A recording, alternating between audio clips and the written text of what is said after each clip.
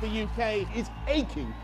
Let's get Brexit done, my friends. So we're going to be the strongest on borders, and we're going to set the example for other parts of the world. He understood that there were an awful lot of people out there that felt that they had no voice.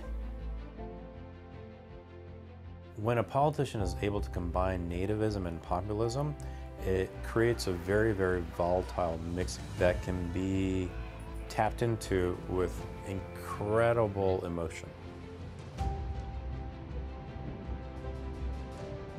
And we're not taking in Syrians that we have no idea who they are, where they come from. Today, the people who want to come to the West are vastly more numerous than the West itself. And if all of them were allowed to make that kind of claim, the West would be destroyed. We have to cut down the flow.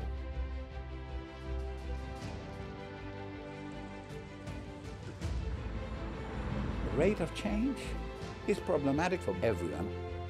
When things change literally in front of your eyes, you're a bit disoriented. What we're seeing now is a rise in populism due to changing economy, but blamed on changing demographics.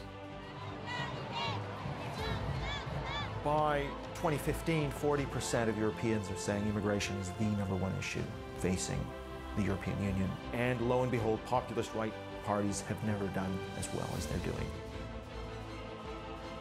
The idea of politicians being able to weaponize populism so that they can create a more authoritarian society will become all the more real. And we'll look back on 2016 as, oh, that was, those were the good old days.